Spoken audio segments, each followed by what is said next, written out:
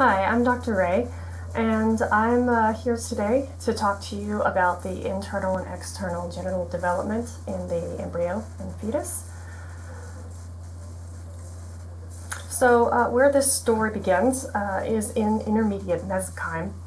Um, so, if you remember uh, way back when, before we had folding of the embryo, we had a paraxial mesoderm that was going to develop into somites we had lateral mesoderm, which is going to develop into, uh, separate into two different kinds, the somatic and the splanchnic mesenchyme, with the overlying or underlying epithelium. And then we also had mesoderm in the middle called intermediate mesoderm. And this is the mesoderm that is going to uh, develop into the urogenital system. So when the embryo actually folds, the mesenchyme gets uh, carried ventrally and it is going to lose its connection that it had with the somites. So the somites are going to be up here developing in this area, the paraxial mesoderm. And as the embryo folds, you get this region that uh, is in this area, and it is um, going to uh, really develop into the, both the uh, urogenital uh, system, mainly the condensation here with the intermediate mesoderm structures that we're going to talk about. That's where we're located. I just wanted to give you the heads up. Uh, highlighted them here because it's it's uh, going to further separate out the urogenital ridge further separates out into two parts.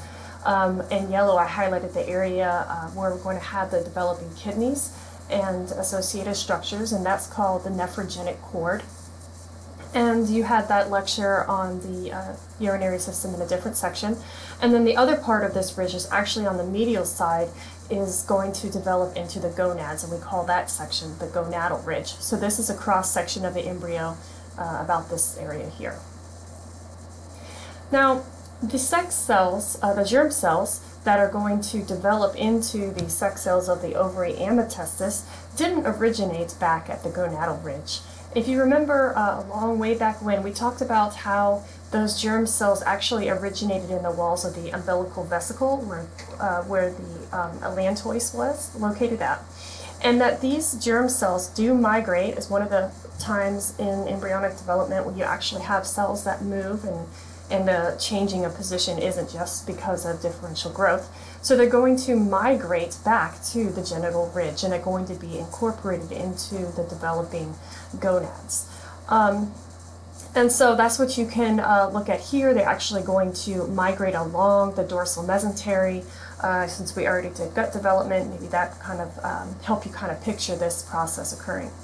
This is another view. Here's a cross section of the embryo or transverse section, and you can see the uh, germ cells migrating along um, the dorsal mesentery here to be incorporated into the gonadal ridge.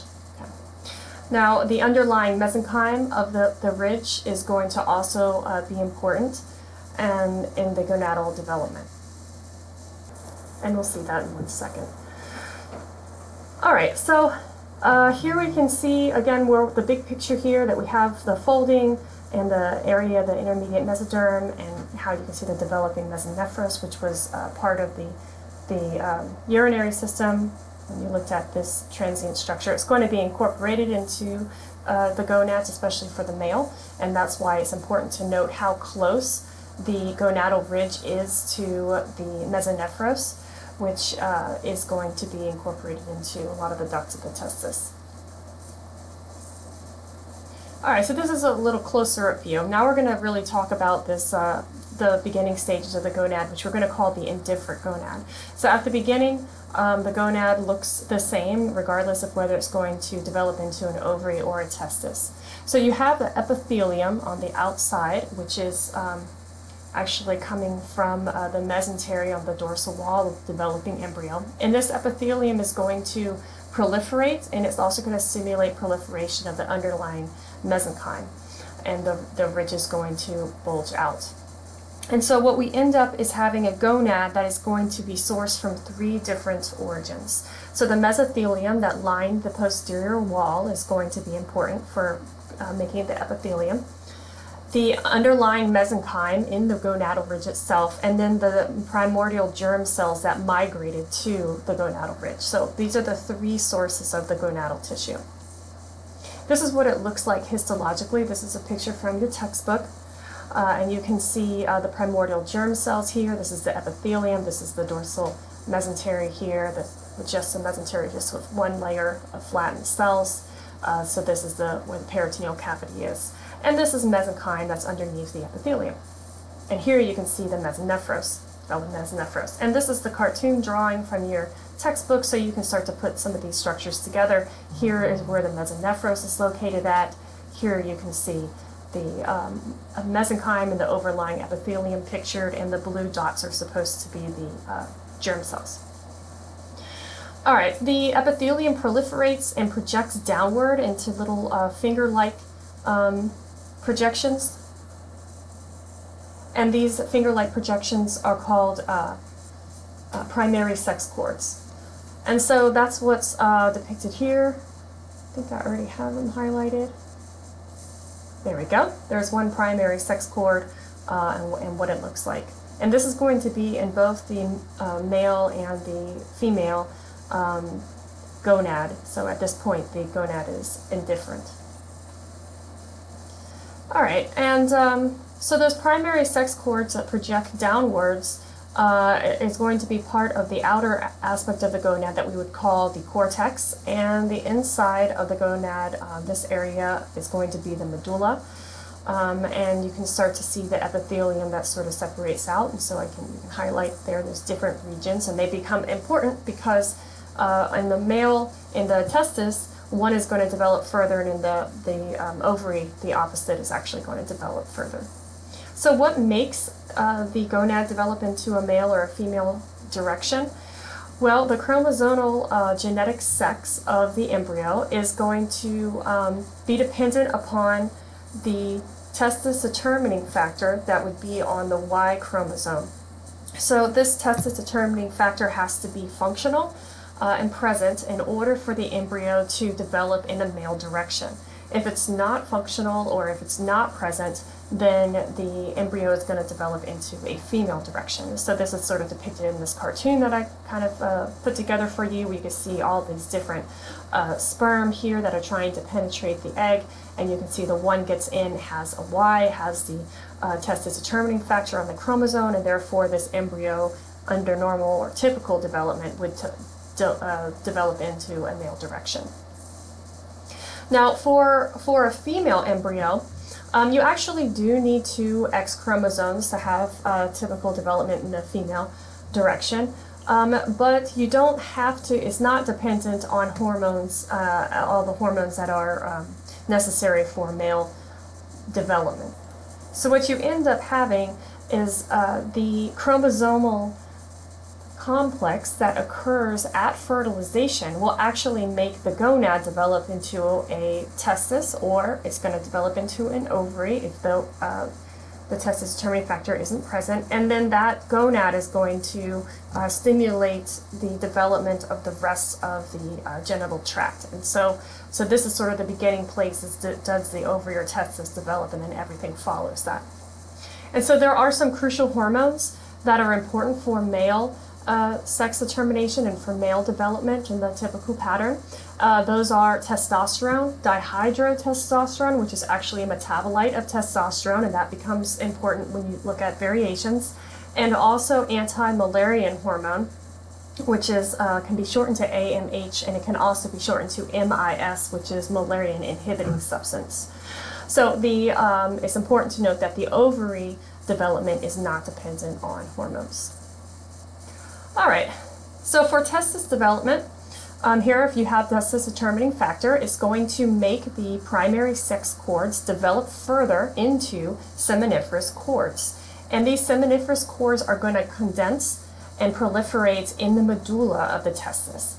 And so what was an indifferent gonad is going to now go in the male direction and cause a lot of proliferation of these primary sex cords into seminiferous cords that will become seminiferous tubules, and they are going to condensate and proliferate more in the medulla of the developing gonad.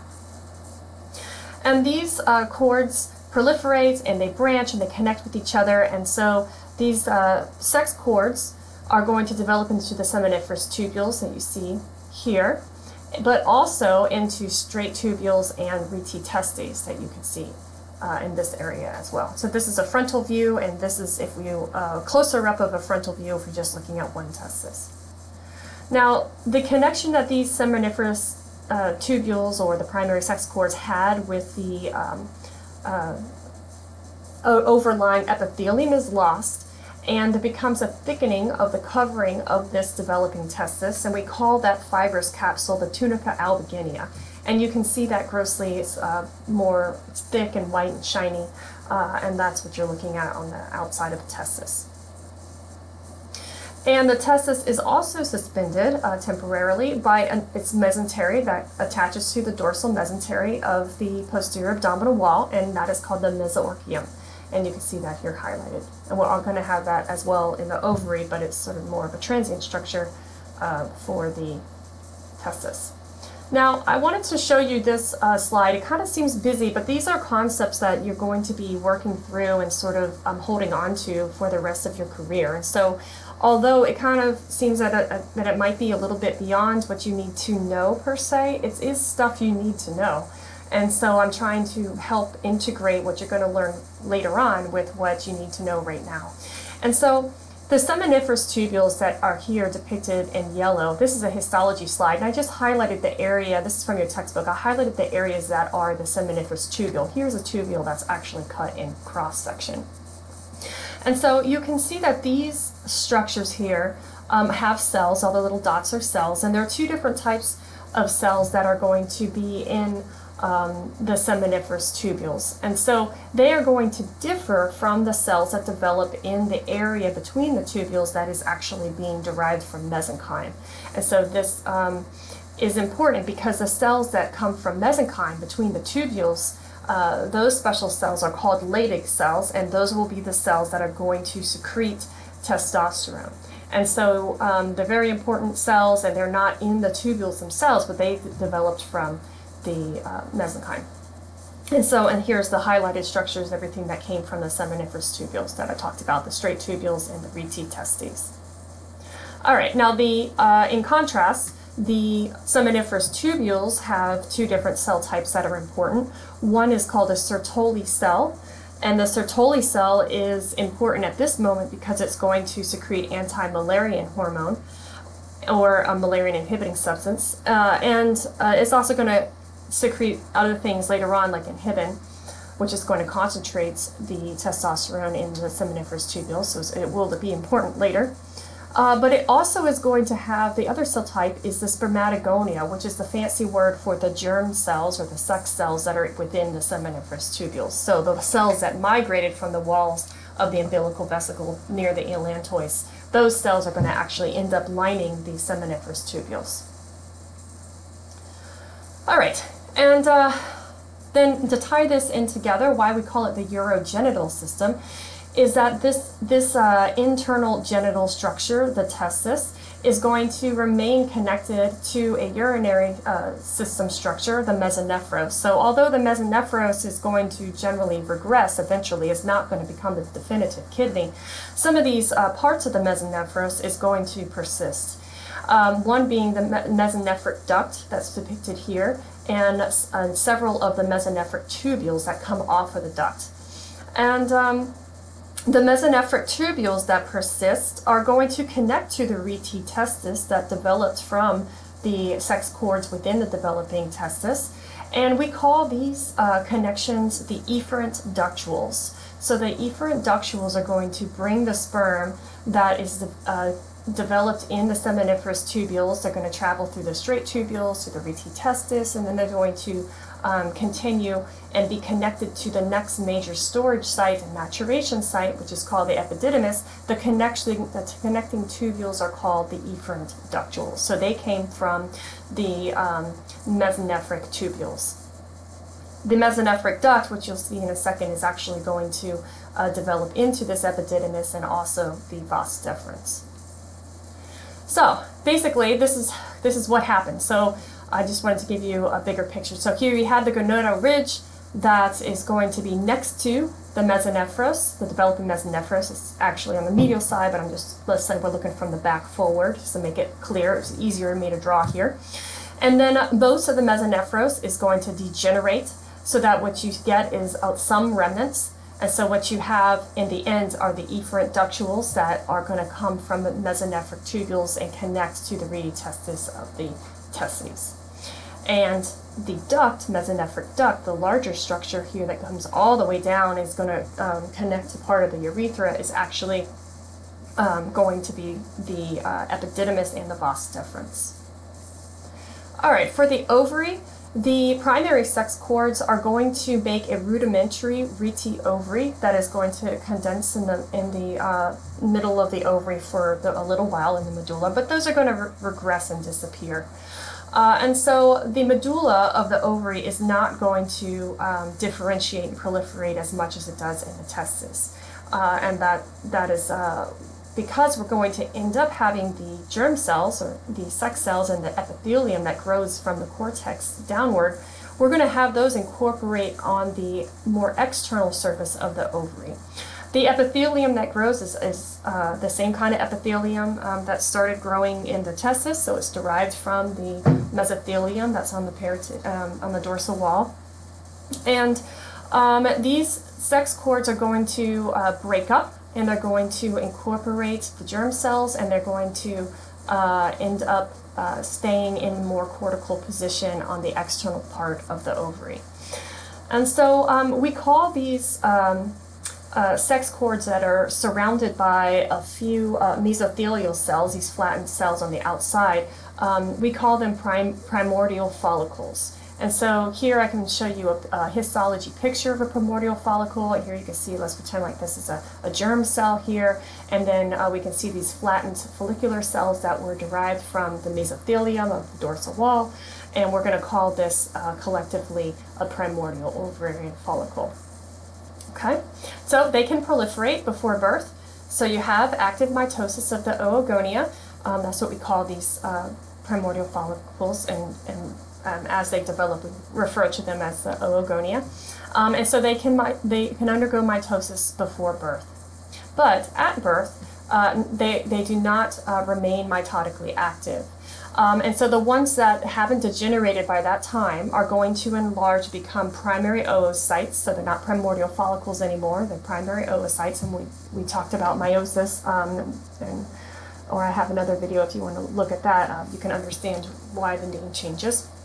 And that is going to be in contrast to the, uh, the male uh, situation, which you can see on this histology slide, which maybe is not the clearest slide, uh, but the um, uh, spermatogonia that are in the walls of the seminiferous tubules in the male, they are going to produce sperm throughout the male's life, at, from puberty until um, until death, unless there's some sort of uh, uh, problem. And so with with the female, though, um, basically the um, oogonia that the female has at birth, you're not going to get any more, and actually many of them are going to degenerate from that from that beginning point. All right, uh, and similarly, like in the testis, the surface epithelium of the ovary is going to um, separate out from the underlying um, follicles that are developing, and it, it's not going to be as thick as the tunica albuginea in the testis. It's actually going to thin out. Um, but it, we still refer to this in, uh, this time as a tunica albuginea. Um, and uh, it also has a mes uh, mesentery that attaches to the dorsal wall, attaches this developing ovary, and we call this the mesovarium. That's what you're looking at there. All right, now we have a new player. Uh, we haven't really talked about this player at all um, because we wanted to really talk about the indifferent gonads and their relationship to the mesonephros and what was going to happen with those structures. But this is just as important of a structure as the other structures. It just really doesn't play much of a role in the male development and it plays a, pri a, primary role in the female development. So um, we're gonna we're gonna introduce uh, her now. so the um, uh, posterior abdominal wall, the mesothelium, that flattened one layer uh, cell, one cell layer thick uh, mesothelium, is going to invaginate. And it is going to make a new duct called the paramesonephric duct. And this duct is going to long, run parallel alongside the mesonephros. It opens up into the peritoneal cavity and it is going to course inferiorly down into the pelvic region. That's uh, kind of depicted there in blue. And so this what it what it uh, looks like here. And so in this picture, you can see the mesonephros uh, here, the gonad developing here, and the, the mesonephric duct with the little tubules, and then the paramesonephric duct. So now we have all the players that are going to play a role. Um, and, and they open up into the peritoneal cavity superiorly and inferiorly. They're actually going to end up joining uh, from one side to another uh, and meeting in the midline. Okay, so we're going to get back to that picture. Right now we're going to talk about how the paramesonephric duct, which is in both the developing male and the developing female embryo, is going to re completely regress, or hopefully completely regress, in the male. And this happens because of the Müllerian inhibiting substance that the Sertoli cells are making. And so this substance is crucial, otherwise the paramesonephric duct is going to fail to regress. And so that's why uh, the Sertoli cells have to play their role here. And they, you can see the little blue dots of this of the figure here from your Moore's textbook, and it's showing um, these uh, paramesonephric duct regressing. All right.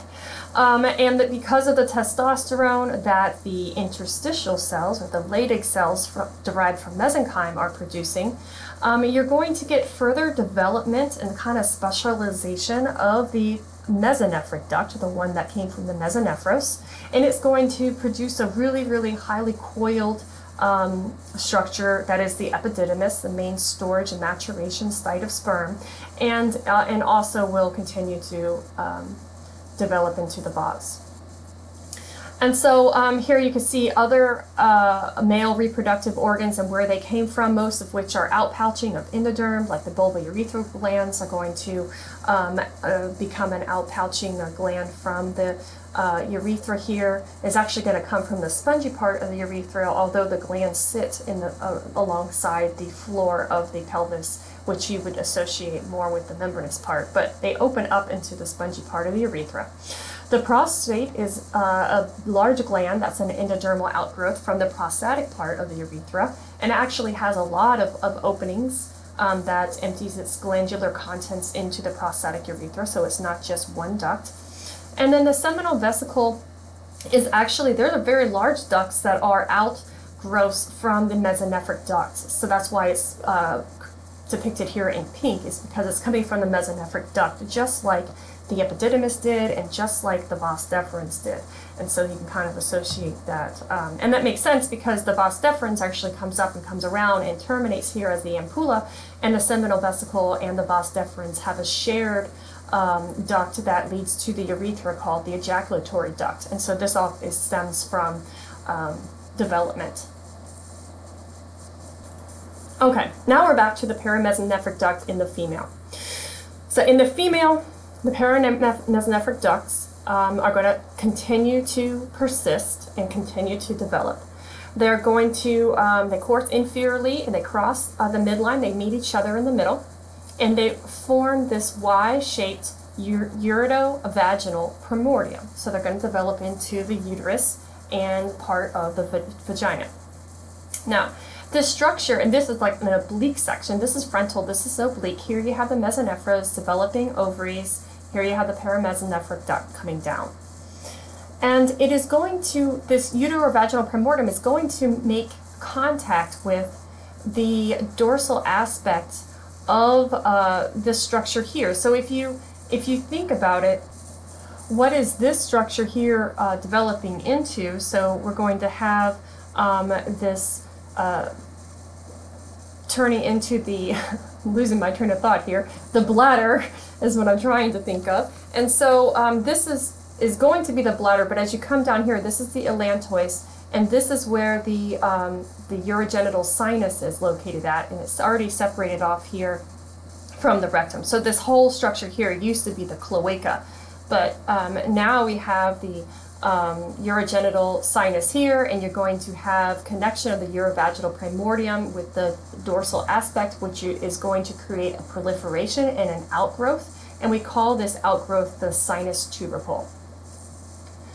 All right, and so for the female, the mesonephric ducts are supposed to regress. So we don't need the efferent ductules. We don't need the vas deferens, and so these structures are going to uh, regress under normal um, circumstances, and the paramesonephric ducts are going to persist and develop further. Um, and so that's what you're looking at. You see a little bit of remnant structures there. Uh, we'll talk about those in a second.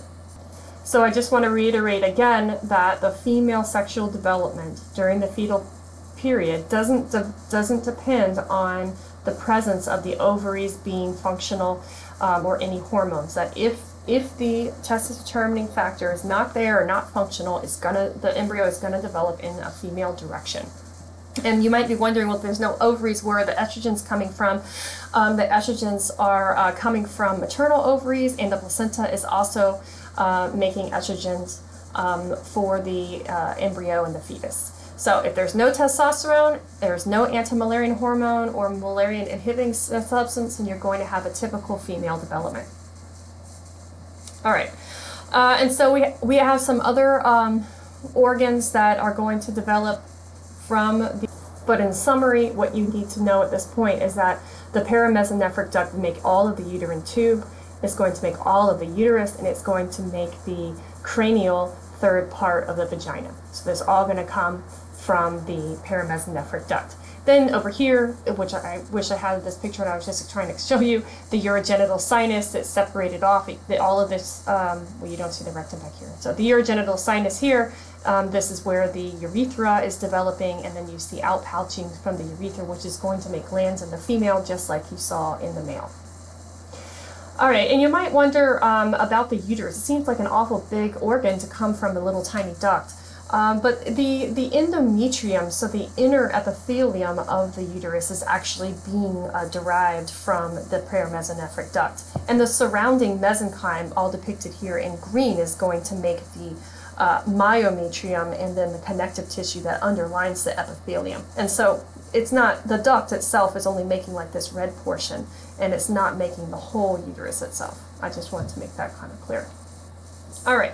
You might wonder um, how the uterus and how the uterine tubes and ovaries end up coming into their position. And that is because of the development and the folding of the embryo. Here you can see um, how the um, paramesonephric ducts um, come close to each other as you go from superior down inferiorly. And as they develop and they fuse, they end up being here in the midline and that's where the uterus is going to develop. And you can see where the ovaries were here on the medial aspect of the gonadal ridge, they actually get turned, so they're on the posterior aspects of the peritoneum that folded and made the paramesonephric duct that came together and made the uterus. So now you have per- you have peritoneum that connects the um, paramesonephric duct structures, which is going to be in this case the uterus, but also the uterine tubes um, it connects it to the wall of the um, inferior ab- abdomen or pelvis. And so we call that uh, peritoneum, which is double layered uh, because of the uh, how, how they come together. We call this the broad ligament. And the ovaries end up being on the posterior side of this broad ligament. And the formation of this broad ligament separates the pelvis and makes these uh, pouches that are um, sort of fold reflections of peritoneum. And uh, the one that is between the uh, uterus and the rectum is called the rectouterine pouch, and the one that is between the bladder and the uterus is called the vesicouterine pouch in this area. So that's what you were seeing um, when you were looking inside the cadaver. All right, and this is just to show you those accessory glands uh, and how they um, became sort of outgrowths from the urethra, and also um, that, that would be the periurethral glands here and the uh, urethral glands. And then there are also greater vestibular glands that have more of a mucus secretion, and they are going to um, out, grow out from the urogenital sinus. Okay, the um, I'm kind of taking you to back to that oblique section. And uh, the uterovaginal primordium here, these are the paramesonephric um, ducts that came together and made the uter- uterovaginal primordium. They're going to um, uh, make the urogenital sinus um, have this bulb that is going to grow out from it that we call the sinovaginal bulb. And so I kind of just depicted that here. They sort of grow outwards. Um, and, and they are going to actually make up the caudal ends of the vagina. And so that's why the vagina is said to have uh, dual origins, is because it's going to have the uro, uterovaginal primordium, which is coming from paramesonephric ducts, and then it has the sinovaginal bulbs that are growing out from the urogenital sinus. So it ends up having, or is believed to have, two origins. Okay, there you go. All right. Now you get some proliferation um, in this in this area here that we call the proliferation. Um, it closes off the opening, the vaginal plate. Uh, this this vaginal plate is going to or is supposed to break down and um, and therefore uh, result in having a lumen in the vagina. And it doesn't always happen that way, but um, that is the way it's supposed to happen, undergoing apoptosis. Um, for a long time, um, the actual lumen of the vagina is separated from the urogenital sinus by a membrane, and we call that membrane the hymen. It usually ruptures and it has a small um, opening in it um, at, at uh, birth, but uh, sometimes it doesn't, and so um, the hymen is, is sort of a structure, remnant structure that um, can be uh, examined for different purposes clinically. So there are some vestigial remnants of these ducts that are supposed to regress in both the male and the female, and they have kind of funky names. But you might see some of these, and they usually are not problems in patients unless they become um, swollen or infected for some reason. Um, and so, uh, even though you have um, the mesonephric duct continue to develop in the male, um, and contribute to many structures, not all of it is supposed to remain. Some of it is supposed to regress. And so if you get a, some of these me mesonephric ducts um, that is too cranial to where it's supposed to develop um, the efferent ductules, and you have a little extension here on the cranial aspect, that's called the appendix of the epididymis. And uh, if you have um, the cranial end of the paramesonephric duct persists, all of the paramesonephric duct in the male is supposed to regress, uh, we call that the vesicular appendix, and that's usually also located uh, up here at the head of the testes. If you're on the caudal end, um, you can have mesonephric tubules that persist that are really, they were supposed to degenerate in this caudal region and only have the efferent ductules there, but if they persist, uh, we call that a paradidymis. Um, and then we have a couple other remnants that are not shown um, uh, that are really, um, some of which are normal. The prostatic utricle, which is a uh, sac-like structure that is the remnant of the, where the paramesonephric duct um, contacted the urogenital sinus, and this is, is there normally in the male. And the seminal colliculus, which is an elevation on the posterior wall of the prostatic uh, urethra is the adult derivative of the sinus tubercle. So both of these structures um, you wouldn't are not depicted here, but you can see them in other textbooks. For the female, uh, the cranial end of the mesonephric duct, all all of mesonephric duct really is supposed to um, degenerate, but if you have one there, you can have a little pouch there called the appendix uh, vesiculosa. If you have some of the tubules that persist from the mesonephros, um, we call that the epoophoron, um, and they would they would be between the ovary and the uterine tube. That's where these little uh, cysts or remnants would be located at. If you have a little extension of the paramesonephric duct, um, you can uh, you can actually have that. I think this is uh, pretty common, and that's called the hydatid of Morgagni. Um, then if you come closer down between uh, the ovary and the uterus, you can get some different tubules from the mesonephric uh, tubules that persist, and we call those the paraoophoron, paraoophoron.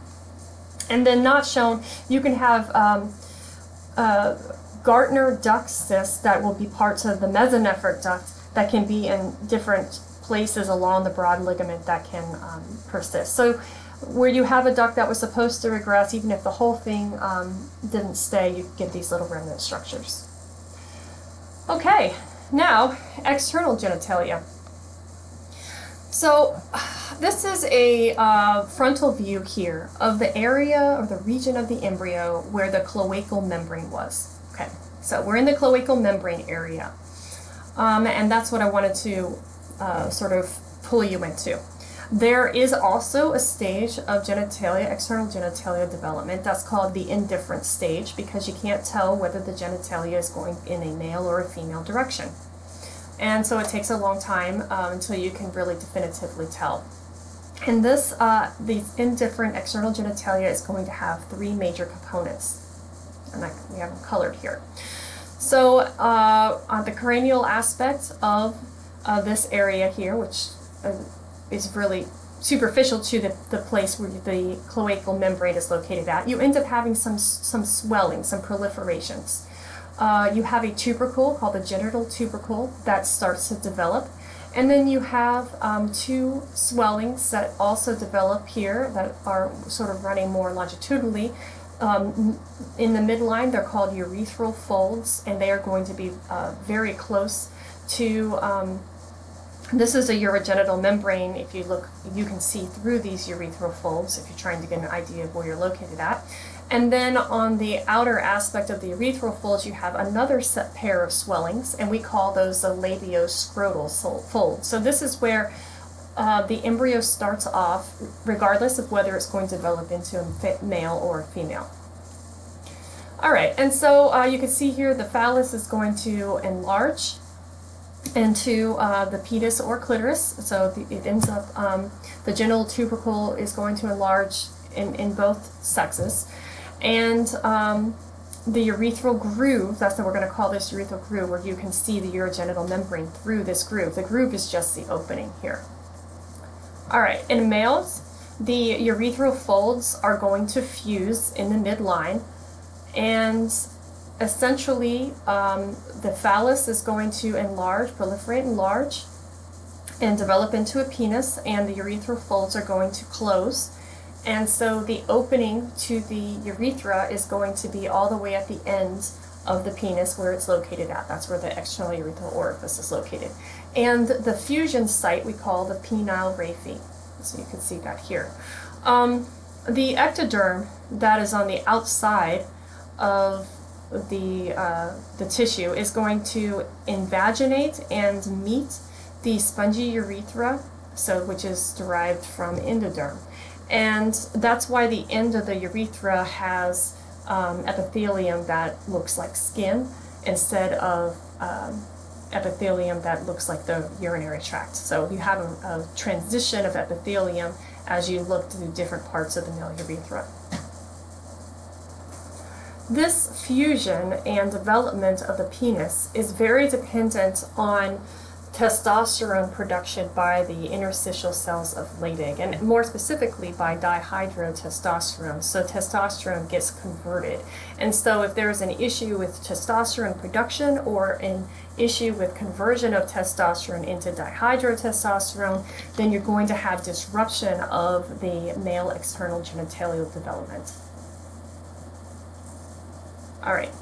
Now, um, just like the uh, penis or the uh, the uro uh, the gosh losing my the urethral folds uh, merging here in the midline, you also have the labioscrotal folds that are going to fuse in the midline.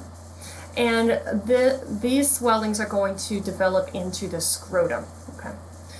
And uh, the ectoderm also grows inwards which is going to end up becoming this circular fold of tissue that is going to develop into the foreskin of the penis. And so um, that's what this picture is trying to show you in this depiction. Now, the fusion that occurs in the labioscrotal folds may not happen uh, properly or the fusion in the urethral folds may not happen properly. So you can end up having the opening of the external urethral uh, orifice happen in many different uh, places alongside the ventral aspect of the penis. And this condition is called hypospadia. And uh, so it really just depends on the fusion and where, where um, it failed to occur. In contrast, epispadia is where you don't have um, proliferation of the mesenchyme on the dorsal aspect of the penis, and so you have an opening of an external urethral orifice on the dorsal side that's not all the way at the tip. So epispadia is much less common than hypospadia, and it is often associated with exstrophy of the bladder. For female external genital development, you're not going to have folds, I mean fusion of the folds or the, the swellings that we had uh, fuse in the male. And so you had the urethral folds that are in the midline and the labioscrotal folds that were outside of that. And you do have a little bit of fusion in the posterior aspect of both of these folds. Um, but for the rest of the course of the folds, they're going to remain unfused and will develop into the labia minora and the labia majora. The clitoris is uh, rather enlarged for a long period of time uh, during um, fetal development, uh, and so then it gradually gets smaller, or also the fetus is, the rest of the fetus is getting larger, and so it's differential growth. And then you can also have variations for females in uterine development. The paramesonephric ducts do not always come together uh, the way that they uh, are supposed to. And so you can have variations in the shape of the uterus depending on how fused the paramesonephric ducts were with each other or whether there was a lack of proliferation on one side um, or whether there is an absence or a regression on one side. So you can see all the different variations that can occur in these conditions. Okay, I hope that you enjoyed this um, and feel free to email me if you have any questions.